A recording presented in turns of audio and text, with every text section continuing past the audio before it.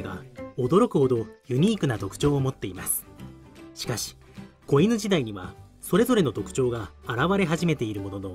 それ以上に全生物共通の感動的でさえある無防備さそして赤ちゃんらしさが見られます。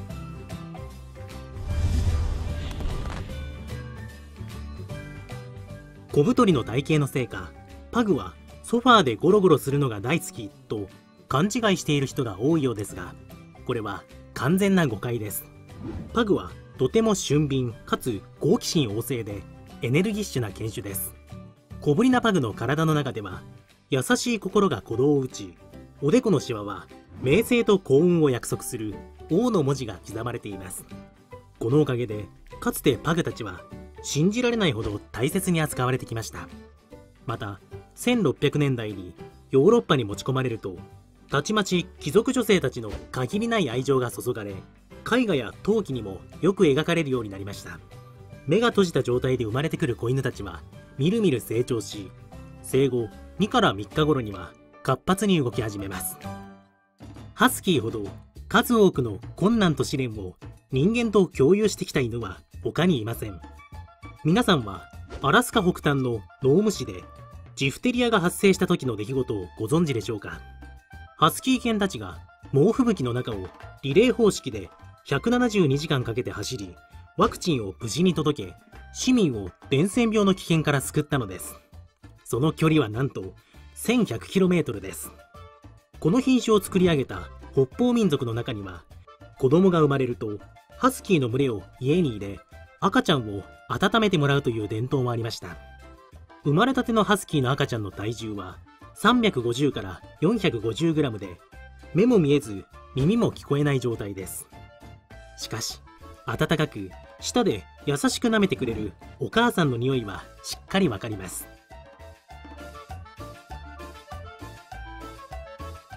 スピッツはセレブに人気があり作品発表や授賞式のレッドカーペットに伴われる姿をしばしば見かけます。少し信じがたいことですが19世紀頃までのスピッツの体は現在よりも4倍から6倍も大きく主に貧しい人々に家畜の番犬として飼われていました。現在のミニチュア種は小型犬の流行とともに広がりました。スピッツの母親は子犬たちに対しとても注意深く優しく接します。通常一度に体重わずか 90g の子犬を2匹か3匹出産します。しかし子犬たちはぐんぐんと成長し経験の浅い飼い主なら戸惑ってしまうほどです。生まれたての赤ちゃんは目も見えず耳も聞こえずとても弱々しく見えます。少し成長してふわふわになると多くの広告に引っ張りだこになります。マルチーズは最古の愛玩犬の一つで人間への忠実さ賢さそしてぬいぐるみのような愛らしさにより古くから貴族たちに愛されてきました。80週頃までマルチーズのお母さんは子犬たちにとって大きな役割を果たします。身の回りの世話をするだけでなく子犬たちの教育をするのです。子犬が悪いことをすると軽く噛んだりうなり声を上げたりさらには歯をむき出して注意します。生まれたてのマルチーズの子犬の体は短くまばらな毛で覆われています。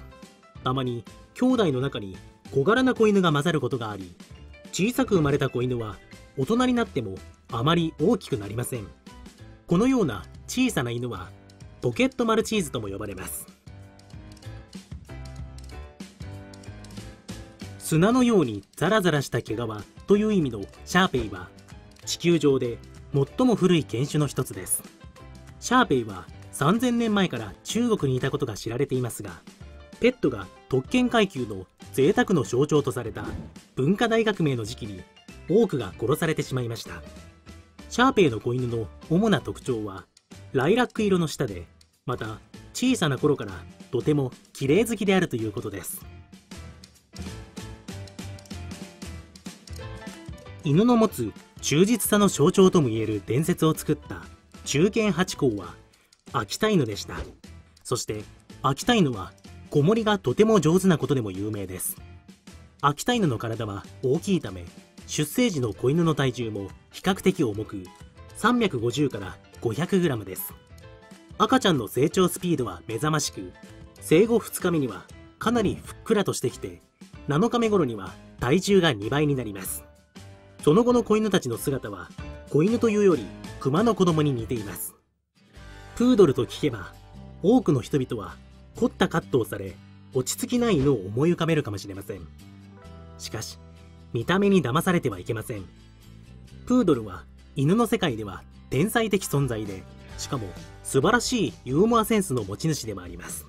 生まれたてのプードルの赤ちゃんは一日中ほとんど眠っていますが実は成長後もよく眠ります。嗅覚や触覚がとても敏感で毛は巻き毛になっています。とても機敏かつ俊敏でどこにでも入り込みどこにでも登り目にするもの全てを歯で確かめます。何千年もの間中国皇帝に飼育され門外不出の神聖な犬とされてきたペキニーズはその威厳を現在まで受け継いでいます。中国原産のこの小さな犬は気高く優雅な外見と愛情深い心を持ち合わせています。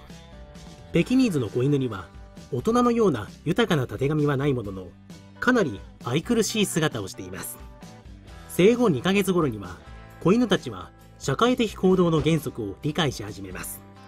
陽気な性格で小さな子供や遊びいたずらが大好きです。また見かけによらず勇敢で主人には従順です。飼い主が危険にさらされようものなら子犬であっても救出に駆け寄ってくれます。ジャーマンシェパードといえば忠誠心献身賢さが広く知られています。まさにこうした理由で訓練に適しているため警察犬や救助犬として世界中で活躍しています。またジャーマンシェパードは人間に仕えるだけでなく自分の子供たちもよく教育します。こちらはお母さん犬と3匹の愛らしい赤ちゃんです。生まれたてのジャーマンシェパードは寒さと空腹にだけ反応します。ジャーマンシェパードの子犬たちは探求心が強くとても活発です。チャウチャウ犬はライオンやふわふわのテディベアにそっくりです。しかしもちろん単なるおもちゃではなく独立した性格を持つ誇り高い生き物です。2000年以上にわたって人間と共に暮らしてきました。祖先はモンゴルや現在の中国にかかる草原地帯に住んでいた野生狼だと考えられています。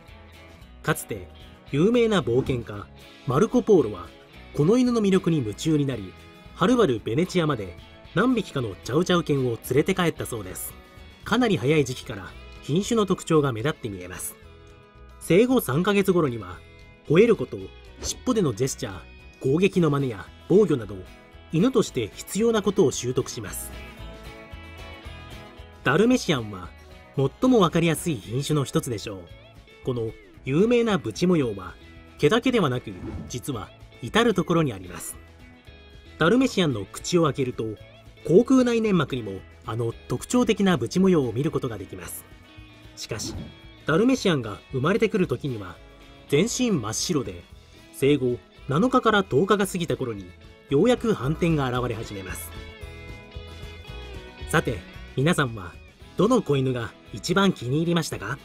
コメントにお書きください。ご覧いただきありがとうございます。また次回お会いしましょう。